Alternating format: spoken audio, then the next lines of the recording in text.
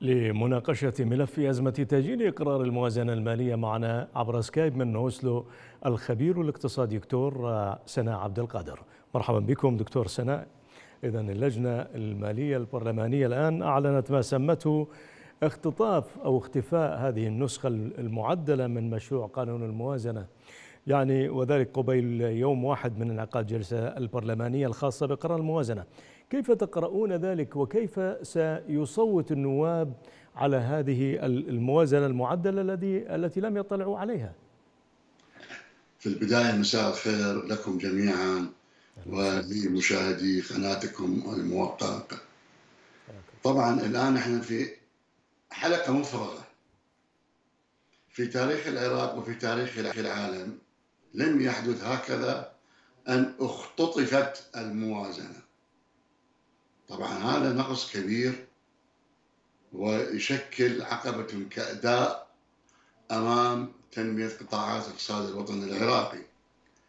وهناك كثير من الأصوات والآراء التي تقول أنه ما مجموع هذه الموازنة يحددها شخصين أو ثلاثة أشخاص تابعين لحزبين أو ثلاثة أحزاب.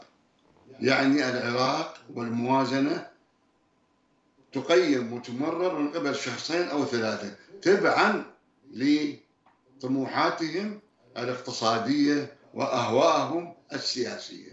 نعم. نعم.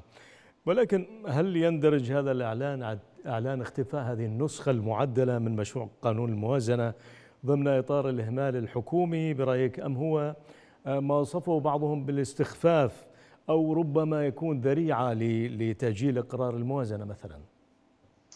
كل هذه العوامل التي ذكرتها كلها صحيحة مجموعة في تأخير الموازنة لأنه الشعب العراقي ينتظر هذه الموازنة بفارغ من الصبر من أجل تحسين وضعه المعاشي يعني من أجل القيام بالاستثمارات في جميع القطاعات الاقتصادية الوطنية التي من الممكن أن تؤدي إلى القضاء ولو بشكل ما على نسبة كبيرة من البطالة.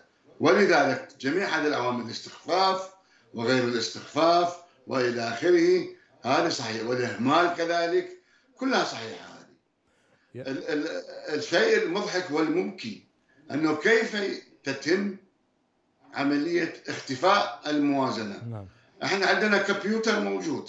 يعني أي كمبيوتر موجود عندك أنت hard disk وال hard disk موجودة فيه هذه خلينا نقول النسخة من الموازنة. طيب وكذلك عندك USB مخزونة عليه الموازنة.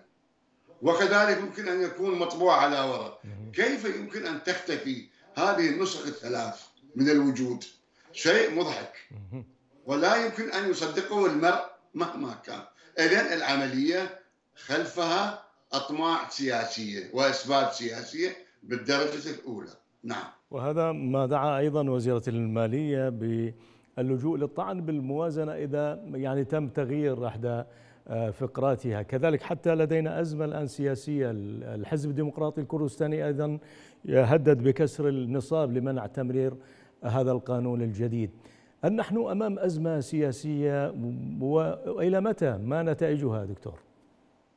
طبعا أنا متفق مع وزير الماليه طيب سامي أنه لا يمكن يعني المسألة جدا غير معقولة زائدا الخلافات الخلافات السياسية بين الأحزاب. نحن نعرف قبل تشكيل الحكومة هاي عندنا تاريخ موجود ويكرر في كل تشكيل حكومه نعم. انه الزيارات والاتفاقات بين بغداد واربيل يتم الاتفاق على تشكيل حكومة تشكل الحكومة وتعطى وعود للأحزاب الكردية ولكن بعد تشكيل الحكومة وعندما نأتي إلى إقرار الموازنة تبدأ المشاكل من جديد حول عملية تصدير النفط من كردستان وحول عملية من الذي يسيطر على التصدير والعائدات يجب أن تستلمها الحكومة ومن ثم تدفع رواتب الموظفين وتدفع حصة اقليم كردستان التي هي ما يقارب 12% يعني إحنا الآن أمام أزمة سياسية واقتصادية.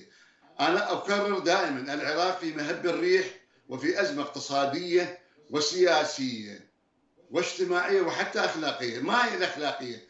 هسه دعنا نترك السياسة والاقتصاد والاجتماع، لكن اخلاق يا أخي فعلا كيف تختفي ما علاقة الموازنه بالأزمة الأخلاقية دكتور؟